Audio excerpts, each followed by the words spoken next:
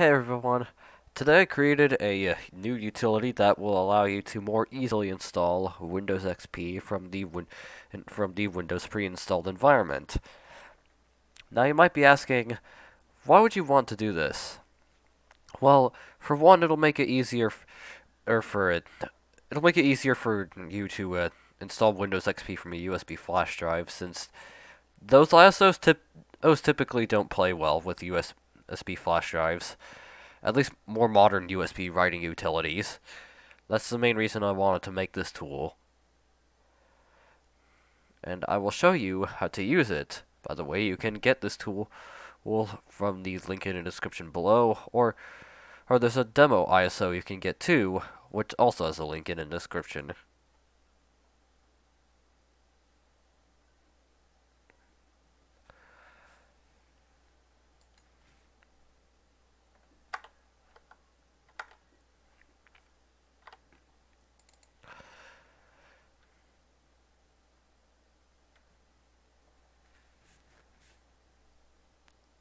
Uh, what?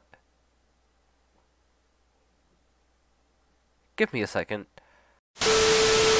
Okay, so apparently VirtualBox didn't want to behave, so we're, we're going to be using VMware for this video. Now, this installation utility is pretty simple. It's not do any configuration of its own, besides things, I guess. Well, besides the necessary things. So, navigate to our CD drive, and then run install.bat. And it brings us to DiskPart. Uh, this is actually required to partition the disks. You can't just exit because it'll leave you with an error. So let's partition the disks. Now first you want to... Oh, Okay, so apparently uh, the official Windows PE uh, things. Uh, do not support VMware's SCSI controller, so I changed the controller to IDE, and now everything should work now. So let's go to our CD drive, or USB drive, and then run install.bat, and then, yeah, we can see disk, disk 0, we want to install on disk 0, so select disk 0, and then,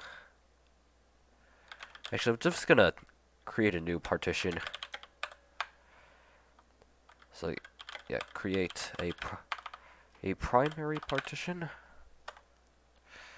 and then format it to NTFS.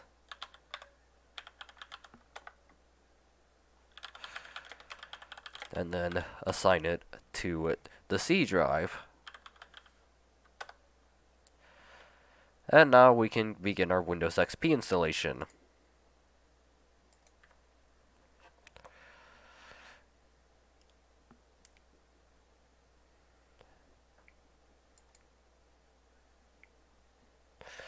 And of course, we need our product key. Luckily, I have mine with I'm handy, so...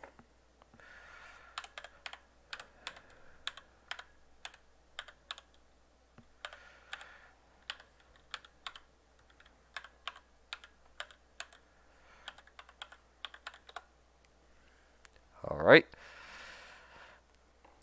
Now this is optional, but I'll just install support for A East Asian languages.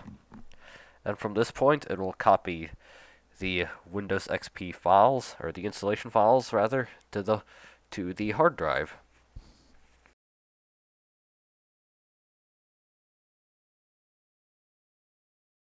Now keep in mind that this is version 1.0 of the Windows XP installer for WinPE utility. He, so uh, keep in mind that if you're if you're watching uh, in the future, if you're watching this in the future, then uh, various minor improvements may have been made to the utility.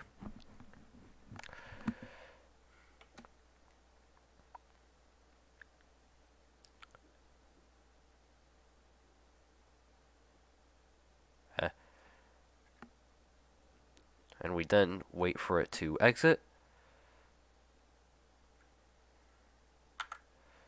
And from here, we no longer need the source drive.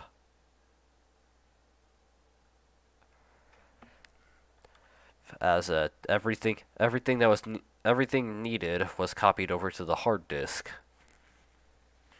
Now you can go through Windows XP setup as normal and uh, enjoy your new installation. Once it's finished, uh, yeah, I'm going to proceed to after the XP install is finished, since this is no different from uh, just doing a regular install of Windows XP, so